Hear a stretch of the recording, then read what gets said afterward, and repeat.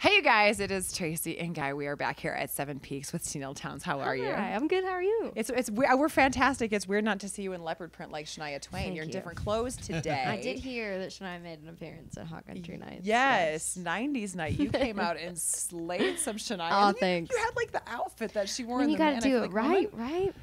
It was actually the outfit from that don't impress me much, but it's the most iconic leopard much.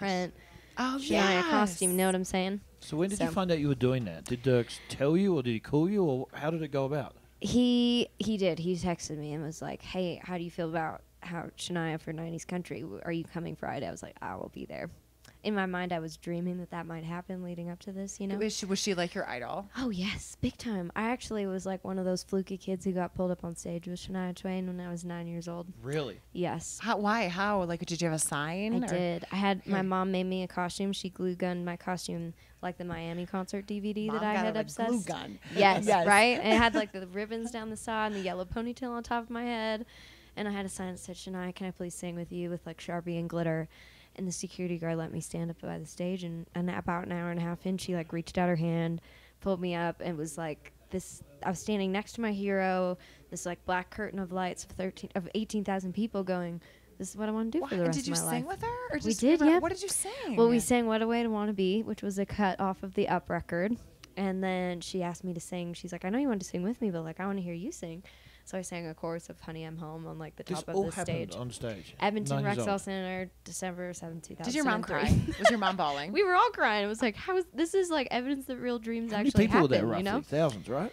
The 18,000, yeah. I was nine years old. It's a crazy, crazy moment. So What a that's when I was great like, this is what I have to do for the rest of my life. And so Dierks has been, we do this kind of, you know, he, he, I was born in the 90s. And so all year he's been bugging me for not knowing 90s country.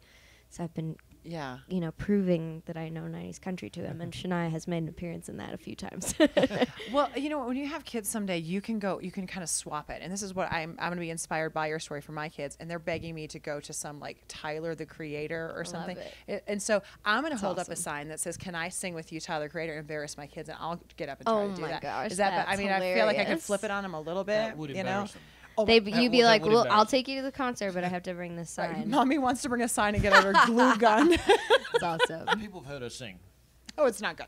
Um, that's a Listen, whole hey, thing. adventures are a good thing. You never know. That's all right. Well, let's talk about like this whole festival has been really fun. It's, it's really cool that Dierks reached out. I think we were chatting at the ACMs even. Like you were already ready to go with this festival. He had already reached out. He's Um, amazing. uh, what's going on for you like this next year? Let's talk about your career off of this festival, where it's going.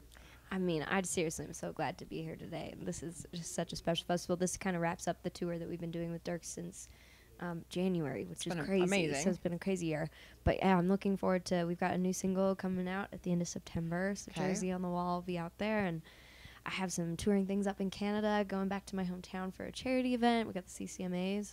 And then I also get to hit the road with Miranda Lambert and Maren Morris this fall, so I'm so excited. Amazing. Yeah, it's been Yeah. good.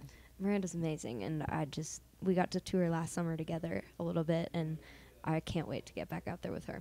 Did Dierks give you any advice on the tour? Anything that really stuck that you remember? You know, I think most of it comes from getting to watch this whole thing. Like, I've literally sat side stage or front of house, or even just walking backstage. You just see the way that he takes care of people, and it's mm. amazing. Yeah. I mean, you can watch him run around this festival all weekend. He's just so dedicated. He loves it so much, and the people that he's cultivated around him on the road are really amazing. Yeah. And I think that's what will always stick with me. I hope someday I get to pay forward what it feels like to be an opening act on a tour like this because we were so supported and encouraged and from rained out shows or squishing everybody on buses for bad roads like it was mm-hmm. always we we were very looked out for and that was a pretty amazing thing I'll never forget. Oh, it's good to know. Well, we can't wait to see you and enjoy the rest of this Well, festival. thank you. I hope you guys have a blast. A great rest Oh. of your oh, time here at Seven Peaks. It's been so much fun, Tenille. Great chatting So with you today. Thanks for your time. Thanks for having me.